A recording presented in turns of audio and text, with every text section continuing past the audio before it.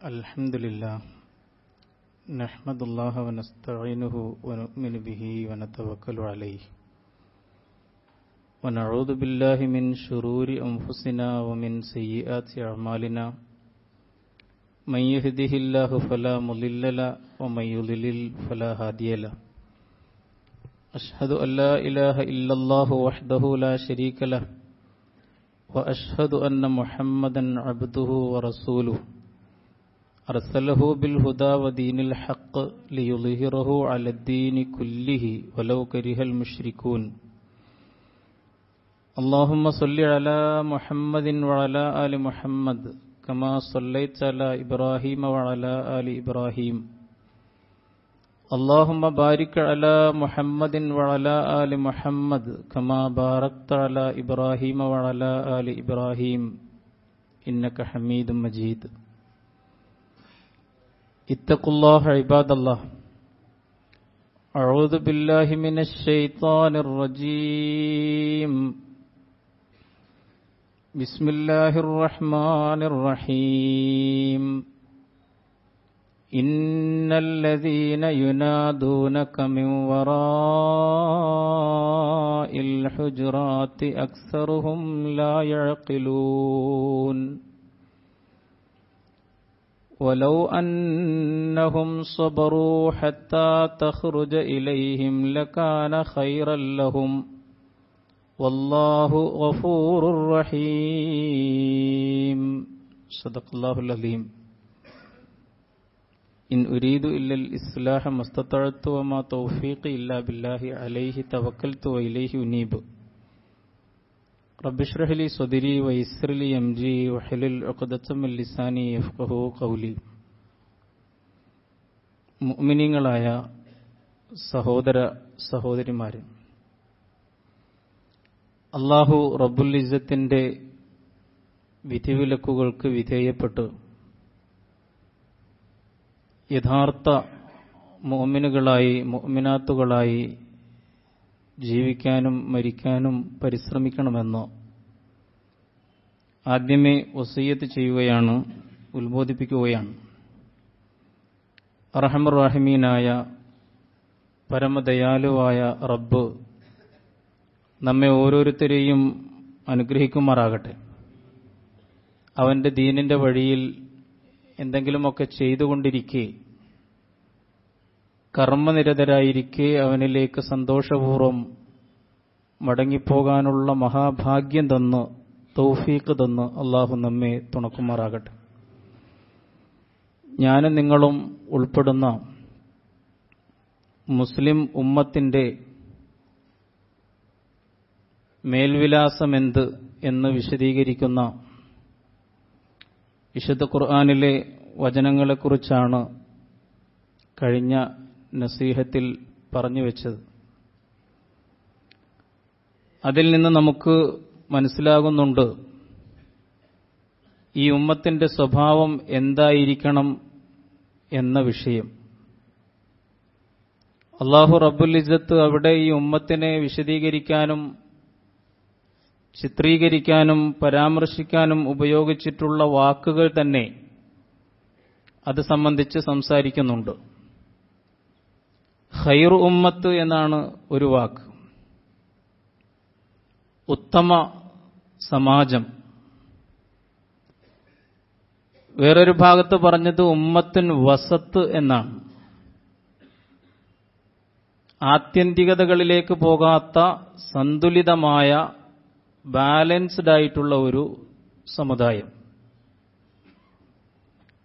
മറ്റൊരു ഭാഗത്ത് പറഞ്ഞത് ഉമ്മത്തുൻ യദുഴൂന ഇലൽ ഖൈർ എന്നാണ്. നന്മയിലേക്ക് ലോകത്തെ വിളിച്ചുകൊണ്ടിരിക്കുന്ന ഉമ്മത്ത്. വേറൊരു ഭാഗത്ത് പറഞ്ഞത് ഉമ്മത്തുൻ യഹുദൂനബി അംരിന എന്നാണ്. നമ്മുടെ പ്രമാണപ്രകാരം മനുഷ്യരെ ലീഡ് ചെയ്തുകൊണ്ടിരിക്കുന്ന അവർക്ക് മാർഗദർശനം ചെയ്തുകൊണ്ടിരിക്കുന്ന ഉമ്മത്ത്. ഈ എല്ലാ പദപ്രയോഗങ്ങളും നമ്മെ സംബന്ധിച്ച് യഥാർത്ഥമായ ഒരു ചിത്രം നമുക്ക് നൽകുന്നുണ്ട്. ഈ ഉമ്മത്ത് ഒരു സാധാരണ ഉമ്മത്തല്ല. ഇത്രമേൽ ഹൈറുമായിട്ട് കൂട്ടിയിണക്കപ്പെട്ട ഒരു ഉമ്മത്തിനെ സംബന്ധിച്ചിടത്തോളം അവരിലെ ഓരോ വ്യക്തിയും അവരിലെ ഓരോ കുടുംബവും ഒരു സമുദായം അല്ലെങ്കിൽ സമൂഹം എന്ന നിലയിലും ലോകത്തിലേറ്റവും മാന്യതയുള്ളവരാകണം അവർ എന്ന് ഈ പദപ്രയോഗങ്ങൾ തന്നെ സൂചിപ്പിക്കുന്നുണ്ട്. ലോകത്തിലേറ്റവും മാന്യരായ ലോകത്തിലേറ്റവും മര്യാദയുള്ള ആളുകൾ ആരാണ് എന്ന ചോദ്യത്തിന് ഒരുപക്ഷെ വ്യത്യസ്തമായ ഉത്തരങ്ങൾ കിട്ടിയേക്കാം. പക്ഷേ ഞാൻ വിനയത്തോടുകൂടി പറയും ലോകത്തിലേറ്റവും മര്യാദയുള്ളവർ ആരായിരിക്കണം എന്ന ചോദ്യത്തിന് പ്രാമാണികമായി ഒരൊറ്റ മറുപടിയേയുള്ളൂ അത് ഈ മുഹമ്മദീയ ഉമ്മത്തായിരിക്കണം. ഞാനും നിങ്ങളും അടങ്ങുന്ന ഉമ്മത്ത് മുസ്ലിമയായിരിക്കണം. പ്രവാചകന്മാരിലൂടെ കൈമാറ്റം ചെയ്യപ്പെട്ടു പോകുന്ന ദൈവിക ഹിതായത്തിന്റെ വക്താക്കളും പ്രയോക്താക്കളുമാണവർ. അതുകൊണ്ട് ഏറ്റവും മാന്യതയുള്ള ഏറ്റവും ജെന്റിൽനെസ് അവകാശപ്പെടാൻ കഴിയുന്ന ഏറ്റവും കുലീനത അവകാശപ്പെടാൻ കഴിയുന്ന സ്വഭാവത്തിന്റെ തറവാടിത്തം അവകാശപ്പെടാൻ കഴിയുന്ന ഒരു ഉമ്മത്തായി ഉയർന്നു നിൽക്കേണ്ടത് ഈ ഉമ്മത്ത് മുസ്ലിമ തന്നെയാണ്. റസൂലുല്ലാഹി സല്ലാഹു അലഹി വസ്ല്ലം ഈ ഉമ്മത്തിനെ ഏറ്റവും അച്ചടക്കമുള്ളവരും അനുസരണബോധമുള്ളവരും അതേസമയം ഏറ്റവും സ്വഭാവ മഹിമയുള്ളവരുമായിട്ട് വളർത്തിയെടുത്തതിന്റെ ചരിത്രമാണ് ഇസ്ലാമിന്റെ ചരിത്രം എന്ന് നമുക്കറിയാം. പ്രവാചകനോടൊപ്പം ജീവിച്ച സമുദായത്തെക്കാൾ മാതൃകായോഗ്യമായ ഒരു സമൂഹം അത്രമേൽ മാന്യത തുളുമ്പി നിൽക്കുന്ന ഒരു സമൂഹം ലോക ചരിത്രത്തിൽ ഉണ്ടായിട്ടില്ല എന്ന് നമ്മൾ മനസ്സിലാക്കണം. റസൂലുല്ലാഹി സല്ലാഹു അലൈഹി വസ്ല്ലം അവരിലേക്ക് നിയോഗിക്കപ്പെടുന്ന കാലഘട്ടത്തിൽ ആ സമൂഹത്തിന്റെ ചിത്രം ചരിത്രത്തിൽ കൃത്യമായി വരച്ചു വെച്ചിട്ടുണ്ട്. പരിശുദ്ധ ഖുർആൻ ഒരു കഷ്ണം ആയത്ത് ഒരു ഒരു ചെറിയ ഒരു പ്രയോഗം കൊണ്ട് തന്നെ അത് സൂചിപ്പിച്ചിട്ടുണ്ട്. കുന്തും അല ഷഫാഹുഫ്രത്തി മിനന്നാർ. നരകത്തിന്റെ അഗാധഗർത്തത്തിലേക്ക് വീഴാൻ ആഞ്ഞു നിൽക്കുന്ന ഒരു സമുദായം. അതാണ് അന്നത്തെ ലോകം അതാണ് അന്നത്തെ ആ സമുദായം. ഒരു ചെറിയ തള്ളുമതി അവരതിലേക്ക് വീണുപോകും എന്ന രീതിയിൽ നിൽക്കുന്ന ഒരു സമുദായത്തെയാണ് റസൂലുല്ലാഹി സല്ലാഹു അലഹി വസ്ല്ലം തന്റെ റിസാലത്തിന്റെ നുപൂവത്തിന്റെ ഇരുപത്തിമൂന്ന് സംവത്സരങ്ങൾ കൊണ്ട് മാറ്റിയെടുത്തത് എന്ന് നമ്മൾ അറിയുക. അതിനേക്കാൾ നല്ല ഒരു സമുദായം ലോകത്ത് കടന്നുപോയിട്ടില്ല പിന്നീടും ഉണ്ടായിട്ടില്ല ഇനി ഉണ്ടാവുകയുമില്ല. ഖൈറുൽ ഖുറൂനി കർണി സുമ്മല്ലദീന യലൂനഹും സുമ്മല്ലദീന യലൂനഹും. എന്നോടൊപ്പം താമസിക്കുന്ന ജീവിച്ചുകൊണ്ടിരിക്കുന്ന സഹവസിക്കുന്ന ഈ സഹാബത്തിന്റെ ഈ സമുദായമുണ്ടല്ലോ ഇവരാകുന്നു ലോകത്തിലെ ചരിത്രത്തിലെ ഏറ്റവും നല്ല തലമുറ. പിന്നെ അതിനെ തുടർന്നു വരുന്ന താപിഴീങ്ങളുടെ തലമുറ. പിന്നെ അവരെ പിന്തുടർന്നു വന്ന തപാൾ താപിഴീങ്ങളുടെ തലമുറ. അതുകൊണ്ട് പ്രിയമുള്ളവരെ മാതൃകയ്ക്ക് വേണ്ടി നമ്മൾ അവരിലേക്ക് നോക്കണം. സ്വഭാവമഹിമയിൽ എന്തുകൊണ്ട് അവർ മുമ്പിലെത്തി എന്ന് ചോദിച്ചാൽ അള്ളാഹുവിന്റെ റസൂൽ സല്ലാഹു അലഹി വസല്ലമായിരുന്നു അവരുടെ ജീവിതത്തിന്റെ പാഠപുസ്തകം എന്നതുകൊണ്ടാണ്. പ്രവാചകനേക്കാൾ മികച്ച സ്വഭാവമുള്ള ഒരാളില്ല. അള്ളാഹു സുബാനഹുവത്ത് ആല പ്രവാചകനെ പ്രശംസിച്ചുകൊണ്ട് പറഞ്ഞത് ഇന്നക്ക ലഅല ഹുലുക്കിൻ അലീം എന്നാണ്. താങ്കൾ ഏറ്റവും ഉദാത്തമായ സ്വഭാവ സംസ്കാരത്തിന്റെ ഉടമയാകുന്നു. പ്രിയമുള്ളവരെ കിട്ടാവുന്നതിൽ വെച്ച് ഏറ്റവും വലിയ സർട്ടിഫിക്കറ്റ് അംഗീകാരപത്രം അതാണ്. അള്ളാഹു സുബാനഹുവത്ത ആലയാണ് പ്രവാചകനെ പ്രശംസിച്ചത്. പ്രവാചകന്റെ പെരുമാറ്റത്തിലൂടെയും അവിടുത്തെ വാക്കുകളിലൂടെയും റസൂലുല്ലാഹി സല്ലാഹു അലൈഹി വസല്ലമ്മ സമുദായത്തെ അതുവഴി ലോകത്തെ സംസ്കരിക്കുകയായിരുന്നു എന്ന് നമ്മൾ മനസ്സിലാക്കണം. ലോകത്തിലേറ്റവും അതവുള്ള ഒരു സമൂഹമാക്കി അവരെ വളർത്തിയെടുത്തു. ആ അതബിന്റെ ഏറ്റവും പ്രധാനപ്പെട്ട അടിസ്ഥാനം എന്ന് പറയുന്നത് അള്ളാഹുവിനോടും റസൂലിനോടും അദബ് കാണിക്കുന്ന ഒരു സമൂഹം. അതവാണ് നമുക്ക് നഷ്ടപ്പെട്ടു പോയത്. അല്ലെങ്കിൽ ലോകത്തിന് കൈമോശം വന്നുകൊണ്ടിരിക്കുന്നത് അതബാണ് പരിശുദ്ധ ഖുർആാനിൽ നാൽപ്പത്തി ഒമ്പതാമത്തെ അധ്യായം നിങ്ങൾക്കറിയാം. സൂറത്തുൽ ഹുജറാത്താണ്. ആ ഹുജറാത്ത് സൂറത്തിൽ ആകപ്പാടെയുള്ള പതിനെട്ട് സൂക്തങ്ങളിലൂടെ ലോകത്ത് ഏറ്റവും അതവുള്ള ഒരു സമൂഹമായിട്ട് മുസ്ലിം സമൂഹത്തെ സംസ്കരിച്ചതിന്റെ നിർദ്ദേശങ്ങളാണ് നൽകിയിട്ടുള്ളത് പരാമർശിച്ചിട്ടുള്ളത് എന്ന് നമ്മൾ മനസ്സിലാക്കുക. മഹത്തായ ആ സൂറത്തിനെ സംബന്ധിച്ച് വിശദീകരിക്കുമ്പോൾ മഹാനായ സയ്യിദ് കുത്തുബ് റഹിമഹുല്ല പറയുന്നുണ്ട് അള്ളാഹുവിനോട് അതബ് കാണിക്കേണ്ടതെങ്ങനെ റസൂലുള്ളാനോട് അതബ് കാണിക്കേണ്ടതെങ്ങനെ മറ്റ് മനുഷ്യരോടെങ്ങനെ അതവ് കാണിക്കണമെന്ന് പഠിപ്പിക്കുകയാണ് ആ സൂറത്തിന്റെ ലക്ഷ്യമെന്ന്. അതിന്റെ അടിസ്ഥാനമാണ് ഒന്നാമത്തെ ആയത്തിൽ തന്നെ പറയുന്നത്. എന്താണ് അടിസ്ഥാനം? യാ അയ്യുഹല്ലദീന ആമനു ലാ തുഖദ്ദിമൂ ബൈന യദയില്ലാഹി വ റസൂലിഹി വത്തഖുല്ലാ ഇന്നല്ലാഹ സമീഉൻ അലീം. എന്നെയും നിങ്ങളെയും വിളിക്കുകയാണ്. പരിശുദ്ധ ഖുർആാനിന്റെ അഭിസംബോധിതരായ മോമിനിങ്ങളെ വിളിക്കുകയാണ് യാ അയ്യുഹല്ലദീന ആമനു ലാ തുഖദ്ദിമു ബൈന യദയില്ലാഹി വറസൂലിഹി അള്ളാഹുവിനെയും റസൂലിനെയും നിങ്ങൾ മുൻകടക്കരുത് മറികടക്കരുത്. അവരെ അവഗണിച്ചുകൊണ്ട് മുന്നോട്ട് പോകരുത്. ഒച്ചക്കുള്ള അള്ളാഹുവിനെ സൂക്ഷിക്കണം. ഇന്നല്ലാഹ സമീഉൻ അലീം തീർച്ചയായും അള്ളാഹു എല്ലാം കേൾക്കുന്നവനും അറിയുന്നവനുമാണ്. ജീവിതത്തിന്റെ ഏറ്റവും മൗലികമായ അടിത്തറ പഠിപ്പിക്കുകയാണ്. ലാ തുഖദ്ദിമു ബൈന യദയില്ലാഹി അള്ളാഹുവിനെയും റസൂലിനെയും മറികടന്നൊന്നും ചെയ്യരുത്. അള്ളാഹുവിനെയും റസൂലിനെയും മറികടന്നൊന്നും പറയരുത്. പ്രവാചകനും ഉമറും ഉമറിന്റെ മകൻ അബ്ദുള്ളയും കൂടി പോവുകയാണ്. അങ്ങനെ പോകുമ്പോൾ എവിടെയോ എത്തിയപ്പോൾ അബ്ദുള്ള ചെറിയ കുട്ടിയാണ്. അബ്ദുള്ളയുടെ ഒട്ടകം റസൂലുല്ലാഹി സല്ലാഹു അലൈഹി വസ്ല്ലം സഞ്ചരിച്ചിരുന്ന ഒട്ടകത്തിന്റെ ഒരൽപ്പം മുന്നിലെത്തുമ്പോൾ ഉമർ പറയുന്നു മോനെ പിന്നോട്ട് മാറണം. റസൂലിന്റെ മുമ്പിൽ അള്ളാഹുവിന്റെ റസൂലിന്റെ മുമ്പിൽ നടക്കേണ്ടവരല്ല നമ്മൾ പിന്നിൽ നടക്കേണ്ടവരാണ്. ഇതാണ് പ്രിയമുള്ളവരെ ജീവിതത്തിലെ അദബിന്റെ അടിസ്ഥാനം എന്ന് പറയുന്നത്. ജീവിതത്തിലെ ഏതേത് വിഷയങ്ങളിലാവട്ടെ വ്യക്തിപരം കുടുംബപരം സാമൂഹ്യം സാമുദായികം രാഷ്ട്രീയം സാമ്പത്തികം സാംസ്കാരികം എന്ന് വേണ്ട ജീവിതത്തിന്റെ സമസ്ത മേഖലകളിലും നമ്മൾ മുന്നോട്ട് പോകുമ്പോൾ ഏറ്റവും പ്രധാനമായി ചിന്തിക്കേണ്ടതും ഓർമ്മിക്കേണ്ടതുമായ അടിസ്ഥാന തത്വം അതാണ് അള്ളാഹുവിനെയും റസൂലിനെയും മറികടക്കാതിരിക്കാൻ ശ്രദ്ധിക്കുക. മഹാനായ അബ്ദുല്ലാഹിബിൻ അബ്ബാസ് റളിയല്ലാഹുവിന് വിശദീകരിച്ചു ലാ തഖൂലു കിതാബി വസ്സുന്ന അള്ളാഹുവിന്റെ കിതാബിനും പ്രവാചകന്റെ സുന്നത്തിനും എതിരായിട്ട് നിങ്ങൾ സംസാരിക്കാനേ പാടില്ല. അള്ളാഹുവും റസൂലും പറഞ്ഞതിന്റെ അപ്പുറത്തേക്ക് ചാടിപ്പോകാൻ പാടില്ല. അതിനപ്പുറം ഒരു ചിന്തയും അതിനപ്പുറം ഒരു അഭിപ്രായവും അതിനപ്പുറം ഒരു പൊതുബോധവും ഒന്നും നിങ്ങൾക്ക് ഉണ്ടാകാൻ പാടില്ല നിങ്ങളെ സ്വാധീനിക്കാൻ പാടില്ല. പ്രിയമുള്ളവരെ അവിടെ തുടങ്ങുന്നു അദബ് എന്ന് പറയുന്നത്. ജീവിതത്തിന്റെ സാരവും നിസ്സാരവുമായിട്ടുള്ള എല്ലാ മേഖലകളിലേക്കുമുള്ള നിയമനിർദ്ദേശങ്ങൾ പ്രവാചകൻ പഠിപ്പിച്ചു. തന്റെ വാക്കുകളിലൂടെ മാത്രമല്ല പ്രവർത്തനങ്ങളിലൂടെ. എന്തുമാത്രം എന്ന് ചോദിച്ചാൽ മലമൂത്ര വിസർജന രംഗത്ത് നിങ്ങൾ പാലിക്കേണ്ട മര്യാദകളും അദബുകളും എന്ത് എന്തൊക്കെയാണ് എന്ന് പോലും പ്രവാചകൻ പഠിപ്പിച്ചു. സൽമാനുൽ ഫാരിസി റലിയല്ലാഹു താലാൻഹു പറയുന്നുണ്ട് മുഷരിക്കുകൾ പലപ്പോഴും പരിഹസിക്കാറുണ്ടായിരുന്നു. മുസ്ലിങ്ങളെ പരിഹസിക്കാറുണ്ടായിരുന്നു. എന്താ വിഷയം? നിങ്ങളുടെ പ്രവാചകൻ മലമൂത്ര വിസർജനം ചെയ്യേണ്ടതെങ്ങനെ എന്നതിനെക്കുറിച്ചൊക്കെ നിങ്ങളെ പഠിപ്പിക്കുന്നുണ്ടല്ലോ എന്ന്. പുച്ഛത്തോടുകൂടിയായിരുന്നു ചോദ്യം. പക്ഷേ ഉത്തരം അഭിമാനത്തോടുകൂടിയായിരുന്നു നമ്മൾ മനസ്സിലാക്കേണ്ട ഒരു വലിയ കാര്യമാണ്. മുമ്പൊരിക്കൽ നമ്മൾ പരാമർശിച്ചിരുന്നു നമുക്ക് ആദർശാഭിമാനമുള്ള ഒരു സമൂഹമാണ്. ആദർശാഭിമാനമുള്ള ഒരു സമൂഹം. ധനാഭിമാനമുണ്ടാകാം ഭാഷാഭിമാനമുണ്ടാകാം ദേശാഭിമാനമുണ്ടാകാം അതിനേക്കാളൊക്കെ അപ്പുറത്ത് ആദർശാഭിമാനികളുടെ സമുദായമാണ് മുസ്ലിം സമുദായം. അവരോട് പരിഹാസച്ചുവയോടുകൂടി ചോദിച്ചു അല്ല നിങ്ങളുടെ പ്രവാചകൻ എന്തൊക്കെയാണ് പഠിപ്പിക്കുന്നത്? മലമൂത്ര വിസർജനം ചെയ്യേണ്ടത് എങ്ങനെ? എന്നതിൽ ക്ലാസ് എടുക്കുകയാണല്ലോ എന്ന്.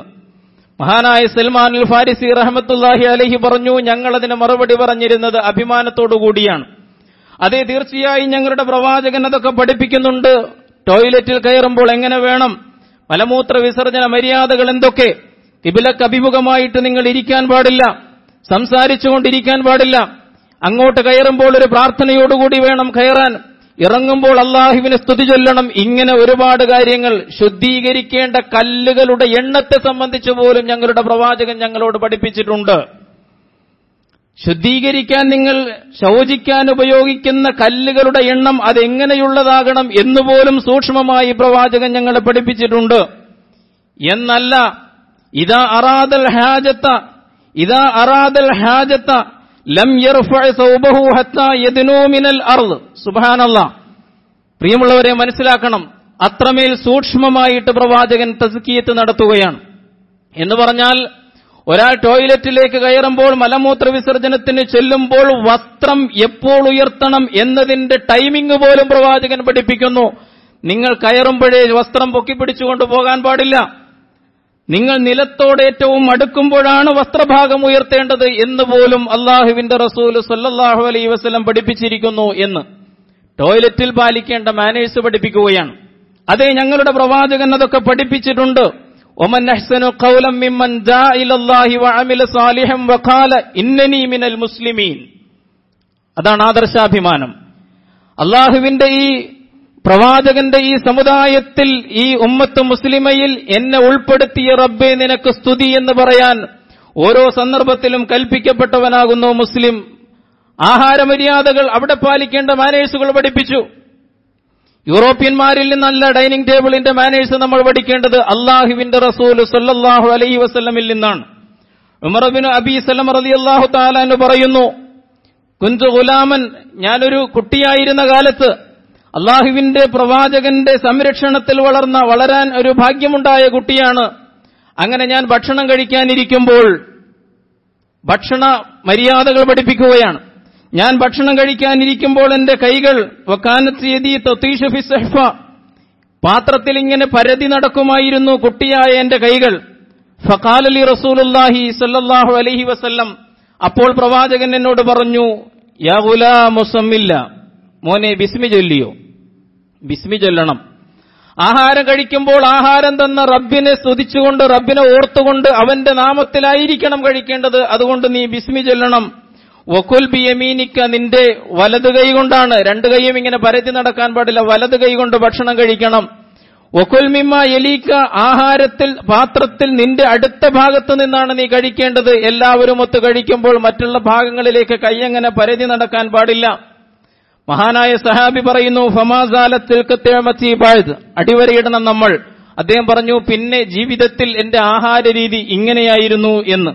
പ്രിയമുള്ളവരെ അള്ളാഹുവിന്റെ റസൂൽ സല്ലാഹു അലൈ വസ്ല്ലം ഒരുമിച്ച് ആഹാരം കഴിക്കുന്നതുമായി ബന്ധപ്പെട്ട് ഒരുപാട് മര്യാദകൾ പഠിപ്പിച്ചിട്ടുണ്ട്. ഇതൊക്കെ നമ്മുടെ ശ്രദ്ധാവിഷയമാകണം നമ്മുടെ ചിന്താവിഷയമാകണം നമ്മുടെ പഠന വിഷയമാകണം എന്ന കാര്യമാണ് സൂചിപ്പിക്കാനുള്ളത്.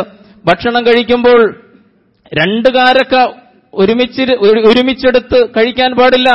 മറ്റേയാളുടെ സമ്മതമില്ലാതെ എന്നുപോലും അള്ളാഹുവിന്റെ റസൂൽ പഠിപ്പിക്കുകയുണ്ടായി. ഒരുമിച്ചിരുന്ന് നിങ്ങൾ ഭക്ഷണം കഴിക്കുമ്പോൾ നിങ്ങളുടെ ആവശ്യം കഴിഞ്ഞിട്ട് ഭക്ഷണം വേഗം കഴിച്ചിട്ട് എഴുന്നേറ്റ് പോകാൻ പാടില്ല. അങ്ങനെ നിങ്ങൾ എഴുന്നേറ്റ് പോയാൽ ഒരുപക്ഷെ അപ്പുറത്തിരിക്കുന്ന നിങ്ങളുടെ സഹോദരൻ നിങ്ങൾ എഴുന്നേറ്റ് പോയല്ലോ എന്ന് വിചാരിച്ചിട്ട് അയാളും എഴുന്നേൽക്കുകയും ഒരുപക്ഷെ അയാൾക്ക് വീണ്ടും കഴിക്കണമെന്ന മോഹമുള്ളിൽ ഉണ്ടായിരിക്കുകയും പക്ഷെ നിങ്ങൾ എഴുന്നേറ്റതുകൊണ്ട് അയാളും എഴുന്നേൽക്കേണ്ടി വരും. അതുകൊണ്ട് അയാളെ പരിഗണിച്ചുകൊണ്ട് അയാൾ ഭക്ഷണം കഴിച്ച് തീരുന്നതുവരെ നിങ്ങൾ ഇരിക്കണമെന്ന് റസൂറുല്ലാഹി സല്ലല്ലാഹു അലൈ വസ്ലം പഠിപ്പിച്ചു. അത്രമേൽ ആഹാരമര്യാദകൾ നമ്മളെ പഠിപ്പിച്ചിട്ടുണ്ട്. ഞാൻ പറഞ്ഞു വരുന്നതിന്റെ ചുരുക്കം അള്ളാഹുവിന്റെ പ്രവാചകൻ ലോകത്തേറ്റവും വിരലറ്റം വരെ മാന്യത തുളുമ്പുന്ന ഒരു ഉമ്മത്തിനെ എങ്ങനെ സംവിധാനിച്ചെടുത്തു എന്ന് വളരെ ഗൗരവത്തിൽ നമ്മൾ മനസ്സിലാക്കേണ്ട വിഷയമാണ്. ഒരു വീട്ടിൽ ചെന്നാൽ എങ്ങനെ പെരുമാറണം? ഞാൻ ആമുഖമായി പാരായണം ചെയ്ത സൂറത്തുൽ ഹുജറാത്തിലെ നാലാമത്തെ വചനം ശ്രദ്ധിക്കുക.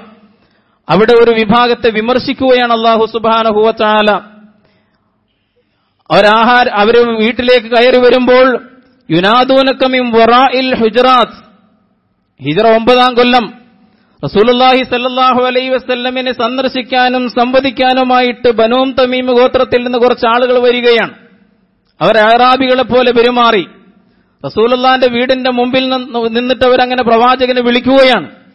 ഒരു കാടൻ ശൈലിയിൽ പ്രവാചകനെ വിളിക്കുകയാണ്. സംസ്കാരമില്ലാത്തവരെ പോലെ വിളിക്കുകയാണ്. മുഹമ്മദെ പുറത്തു വരൂ എന്ന് പറഞ്ഞിട്ട് തിടുക്കം കാണിക്കുകയാണ്. അള്ളാഹുവിന്റെ പ്രവാചകൻ സല്ലാഹു അലൈ വസ്ലം വീടിന്റെ ഉള്ളിലായിരുന്നു. പ്രിയമുള്ളവരെ അത് സംബന്ധിച്ചാണ് പരിശുദ്ധ ഖുർആൻ ആയത്തിറക്കിയത്. ഇന്നല്ലദീന യുനാദൂനക്കമിം വറാഇൽ ഹുജറാത്തി അക്സറുഹും ലായഴക്കിലൂൻ അവരിൽ അധികം ആളുകൾക്കും വിവരമില്ല. അവർ ചിന്തിച്ച് മനസ്സിലാക്കുന്നവരല്ല. നീ പുറത്തേക്ക് ഇറങ്ങി വരുന്നതുവരെ അവർ ക്ഷമിച്ചിരുന്നെങ്കിൽ വലോ അന്നഹും സ്വബറു ഹത്താ തഖ്റുജ ഇലൈഹിം ലകാന ഖൈറല്ലഹും അതായിരുന്നു. ക്ഷമയോടുകൂടി നിന്നെ കാത്തിരിക്കലായിരുന്നു അവർക്ക് നല്ലത്. അള്ളാഹു സുബാനഹുവത്ത് ആല പുറത്തു തരുന്നവനാണ് കരുണയുള്ളവനാണ് അവൻ ക്ഷമിക്കും പശ്ചാത്തപിച്ചാൽ മതി എന്നൊക്കെ പറഞ്ഞുകൊണ്ട് അള്ളാഹു സുബാനഹുവത്താല ആയത്തുകൾ അവതരിപ്പിക്കുകയാണ്. ഒരു വീട്ടിൽ ചെല്ലുമ്പോൾ എങ്ങനെ വേണം? വീട്ടുകാരനെ കണ്ടില്ല. വീടിന്റെ ചുറ്റും വണ്ടി നടന്നങ്ങനെ ഒച്ചയിട്ട് സംസ്കാരശൂന്യമായിട്ട് പെരുമാറേണ്ടവരല്ല നിങ്ങൾ. അവരെ വളരെ പ്രയാസപ്പെടുത്താത്ത രീതിയിൽ വിളിക്കണം. യാ അയ്യുഹല്ലദീന ആമനൂ ലാ തദ്ഖുലൂ ബുയൂതൻ ഗൈറ ബുയൂതിക്കും ഹത്താ തസ്തഇനിസു വതുസല്ലിമു അലാ അഹ്ലിഹ. ആ വീട്ടുകാരോട് അനുവാദം വാങ്ങിക്കൊണ്ടും അവരോട് സലാം ചൊല്ലിക്കൊണ്ടുമല്ലാതെ നിങ്ങളൊരു വീട്ടിലേക്ക് പ്രവേശിക്കാൻ പാടുള്ളതല്ല. പരിശുദ്ധ ഖുർആൻ നസ്സായി ഖണ്ഡിതമായിട്ട് നമ്മെ പഠിപ്പിക്കുകയാണ് മര്യാദകൾ. അതാണ് നിങ്ങൾ ചെയ്യേണ്ടത്. ദാലിക്കും ഹൈറുല്ലക്കും അല്ലക്കും തദക്കറൂൻ. സൂറത്ത് നൂറിൽ പഠിപ്പിക്കുകയാണ്. ലാത്തതുഹുലു തദ്ഖുലൂ വൈറ ഗൈറ ബുയൂതിക്കും നിങ്ങളുടേതല്ലാത്ത വീടുകളിൽ ചെല്ലുമ്പോൾ പ്രത്യേകമായി ശ്രദ്ധിക്കണം. ഈ മാനേഴ്സുകളൊക്കെ നോക്കണം. അവരെ ശല്യം ചെയ്യാത്ത രീതിയിൽ വിളിക്കണം. ചരിത്രം രേഖപ്പെടുത്തി അള്ളാഹുവിന്റെ റസൂൽ സല്ലല്ലാഹു അലൈഹി വസല്ലം കൃത്യമായി പഠിപ്പിച്ചു